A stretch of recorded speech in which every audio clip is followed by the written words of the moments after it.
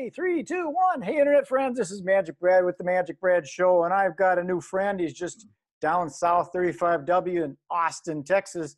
His name is Arie, and the last name is Brish. Is that right? Correct. I got it right?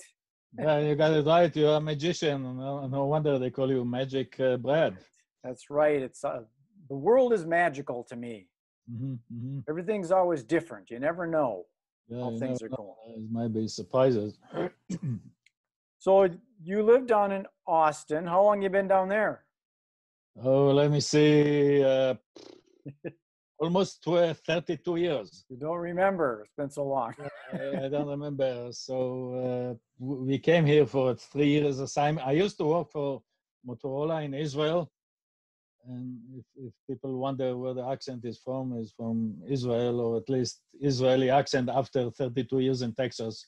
So it's kind of a, a blend. So anyhow, we we I used to work for Motorola in Israel, and they relocated uh, me to Austin with the original plan was for a three years assignment. and 32 years later, we're still here. My wife is still uh, mad at me for cheating her into that adventure, but, but she enjoys it too.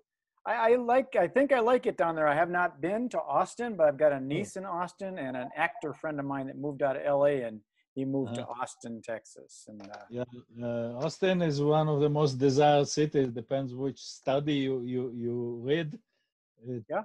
When we came here, people don't believe us because now it's such a big party city.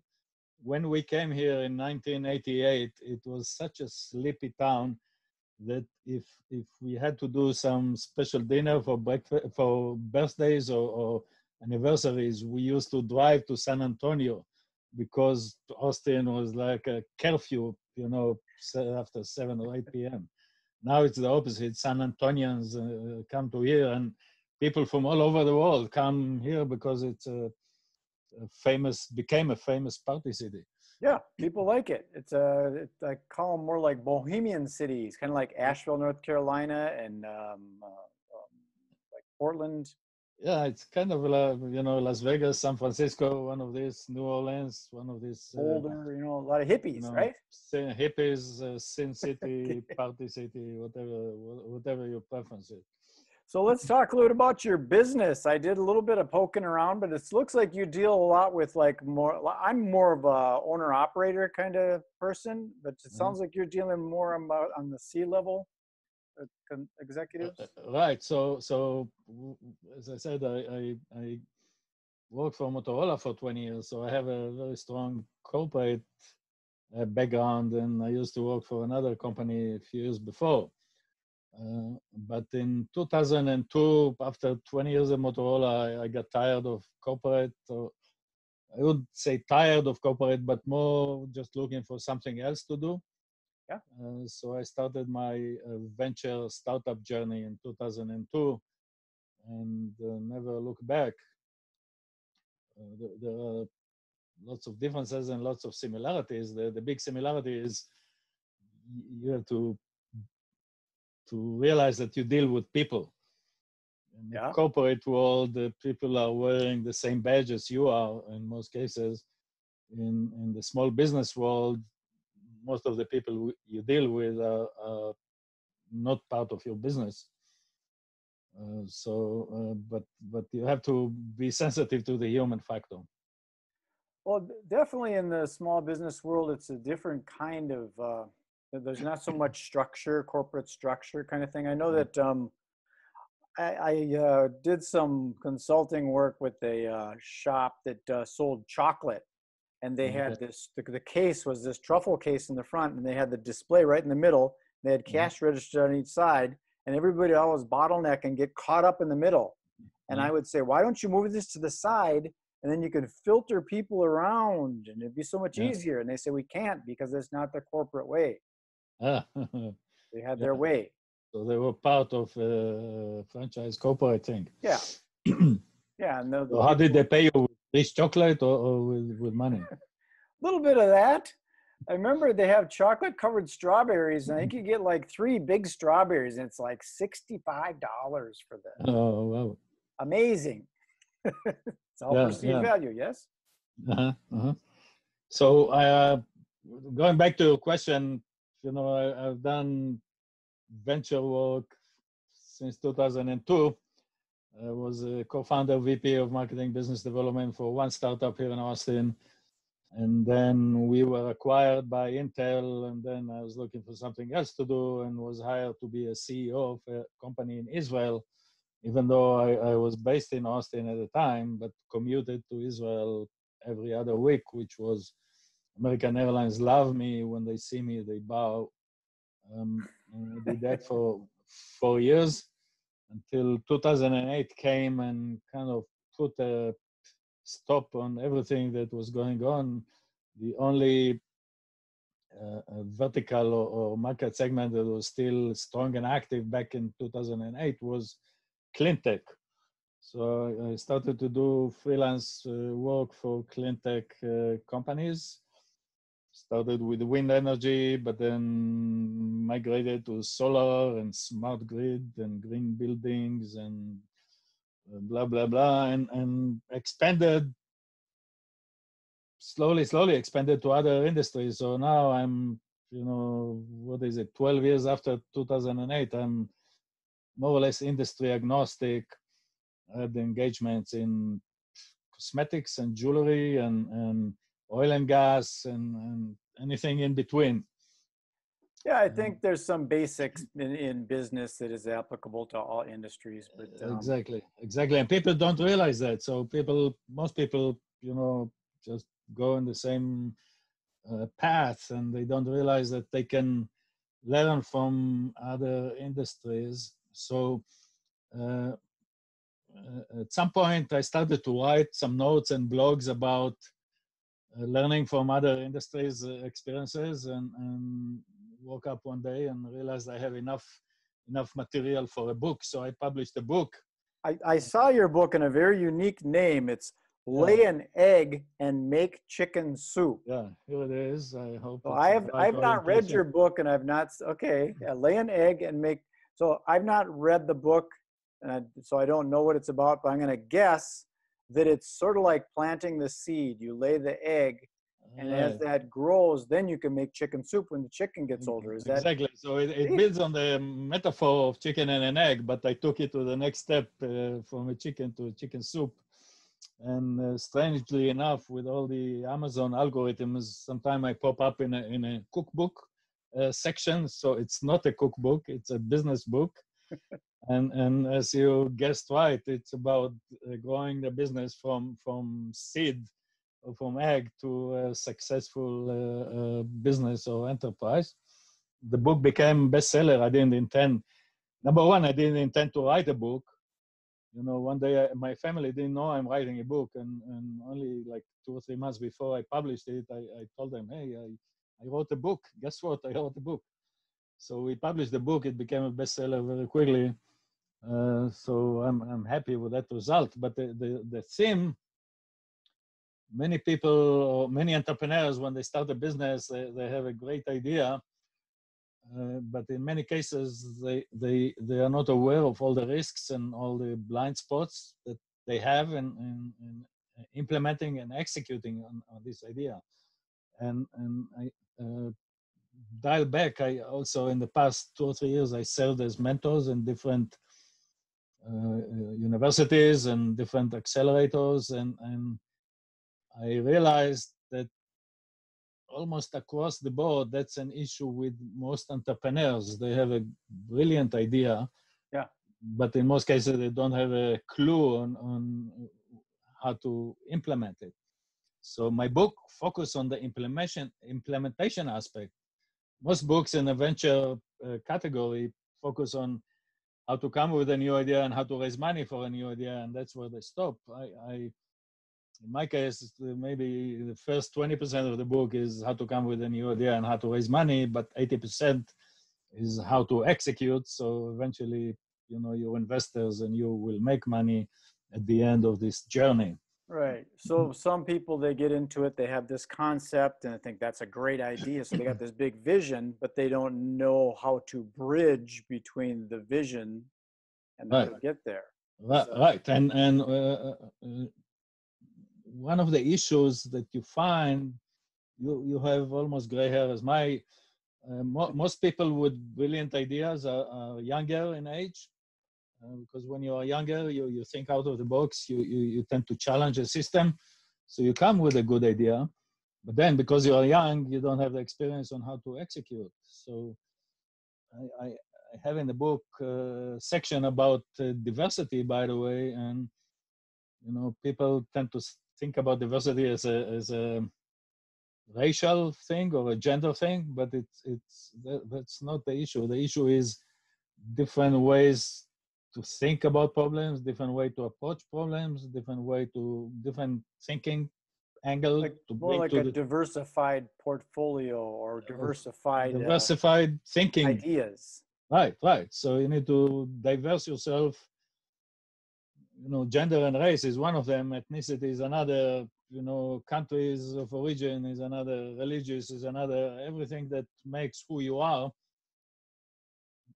kind of uh, uh, uh, Uh, uh, uh, defines the way you, you think and the way you approach problems and even science and engineering you know most of my career i worked with engineers and i definitely could see that engineers from different backgrounds tend to think differently even when they approach Sure. engineering problems Yeah, they're stuck in a rut kind of thing. yeah yeah so going back to the age thing uh, uh, diverse age diversity in the team is also important for the reasons we talked about uh, the gray hair brings some experience to the table where the younger people brings uh, uh, out of the box thinking Well, I just had a conversation uh, earlier this morning with a guy, and we were talking about.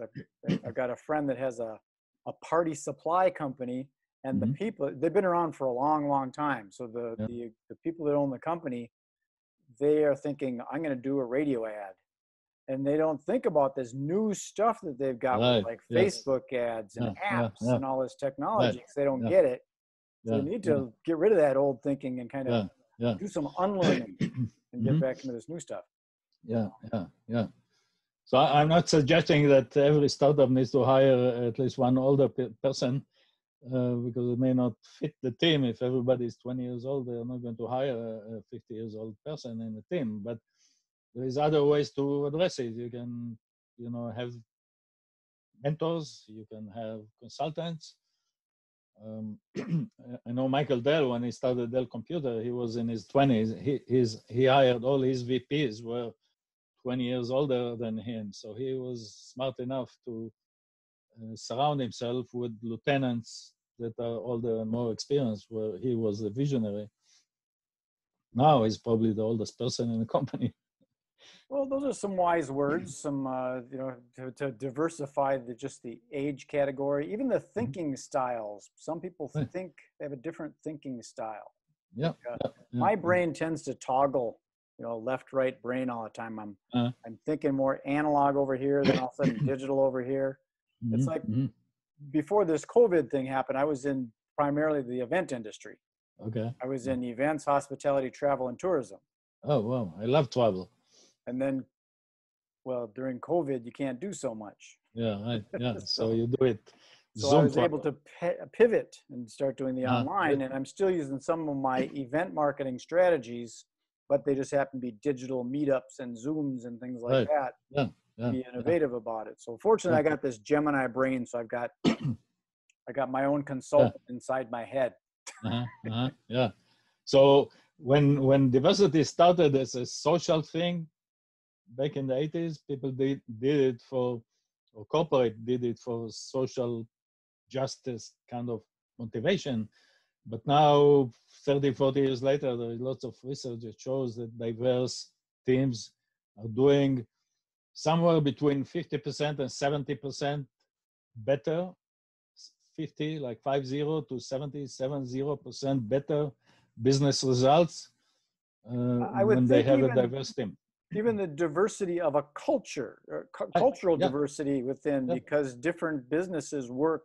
I remember um, the guy was telling me about doing business in Japan. You can't just give them your business card and throw it in your pocket. You need to take the business card and respect it. Yeah, right, So you need to know that stuff if you're working from someone from Japan or Saudi Arabia or wherever. Different cultures. different cultures you know so you, you need li- uh, that's another point when when you want to expand internationally Ah. okay let me turn off this phone there is like five million telephones That might have been the clients calling you. uh, that's my wife's phone so Okay. that might be more important. We better hurry yeah up. right yeah so oops oh, somebody's talking there There you go. Yeah. So where were we about the cultural? Yeah, when you when you have to expand internationally, when you take your business internationally, if if you're in a travel business, you know that. Yeah, yeah, and, and and do business overseas, you have to be very sensitive to the fact that other countries are, are doing thinking differently and But I think business. not even other countries now because the other countries are coming here to the United States. So there's so Right. many different cultures and, Yeah. and how people work. I know that um, Amazon had a bunch of issues because of the uh, the Muslim community wanted to be able to take prayer breaks. Yeah, right. We're not used to that kind of thing. So it's a Yeah, whole yeah. different culture. You have to adapt to it. Uh, exactly and and you know when we came here in 1988 there was very few foreign families in austin. Like in motorola there was a handful of foreign families or foreign employees. Now it's almost a, a, a standard at least in a high tech to have big portion of, of the team is people coming from other countries. So your book covers a lot of that. Is do you also do some like like uh, consulting, or do you do workshops and seminars and, and Ye- speaking from the ye- stage or yes, yeah, yeah. So uh, as I said, I started as mentoring and advising and consulting to other businesses. That's what triggered writing the book because I saw common issues among all my clients and mentees that uh, they're not aware of all the practical challenges they're facing. So now I, I spend a portion of my time supporting the book and another portion of my time talking about the concept or spreading the, the concept of the book, either in, in shows like this, speaking engagements, um, uh, speaking in academia. Like this morning, I was uh, uh, negotiating a, a, a guest speaker in one of the universities here in, in, in Texas. Uh, and I still continue my consulting, so that uh, you know I have a mixed bag of things I'm Sure. doing. So who who is your ideal customer profile? Is it uh, any specific industry that you like to work with? Any specific age range? Any specific gender? It it, it was it used to be high tech 20 years ago, but not anymore. As I said, I diversified myself since 2008 and became totally industry agnostic. At this point, for example, I have four or five clients. One is medical devices, one is clean tech, uh, one is social media, uh, another one that is kind of uh, logistical software, and the fifth one is in agricultural technology. Got All- quite a quite a all- all diversified. So- portfolio. yeah, and people hire me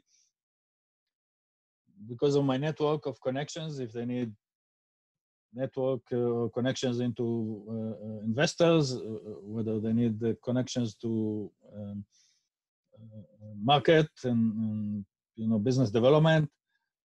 These are the type of, of engagements I do. Strategic planning for the new business. So these are the kinds of. In the past, I had, as I said, I had jewelry, I had cosmetics, uh, high tech, of course, energy. So I, I, I became very industry diverse and agnostic. I would say. And, and uh, most of this uh, data is on your website, but I have to ask you, what Mhm. is CXO 360? What's the CXO for? Okay, so it's a you ask a simple question, but the answer will be long. Okay. So when when I first left Motorola, CXO stands for and still stands for uh, uh, Chief Anything Officer. So I'm kind of over my career. I did different jobs in engineering and, and, R&D and marketing and uh, operations. So I became also agnostic as far as the business discipline. So the X is agnostic of the business Okay, so like E. CEO, CFO, CO. Yeah, right, right, yeah. Interesting. The 360 is also, you know, a- circle of doing anything, everything, but also uh, my office at the time was on Highway 360 in Oh, really? Austin, Texas. So it has a dual meaning 360. So, So it's cxo360.net for those of you that are listening. I will put that link also in the. Uh, thank you. Yeah, the dot com was taken somehow by somebody. Uh, it's okay. You're more of a networker than you're like that. Right, right. Yeah. So a big part you ask why people hire me, a big part of it is who I know. They hire me because I know so and so and so and so. Yep. So someone say, "Hey Arie, you know anybody that's got like a quarter million dollars they could invest into my new little bread shop?" Yeah, right, exactly. Say, "Sure, talk to Steve." Yeah, yeah. Okay, Arie, I don't like to do these too long because people uh, get limited time, you know, so it gives Uh-huh. them an opportunity to digest it all. But Yeah. I'm going to sign this one off and beam it up to the universe and let people find it with keywords and hashtags and social media links and all that kind of stuff. Okay, I appreciate you having me. Is there anything else hmm. you want to add? Any words of wisdom? just to show to show book? the picture of the book in case you see it on the bookshelf or something. Yeah, you definitely got that out there because I did see it. And, and who knows? People look at it as a cookbook. That's for cooking up Yeah. your new business, right? Yeah, exactly, exactly. There is a, a cooking metaphor here. Okay. okay, thanks, Arie. Appreciate you very much. Thank you. Peace. Okay, thanks for having me. Bye bye. Have a nice weekend.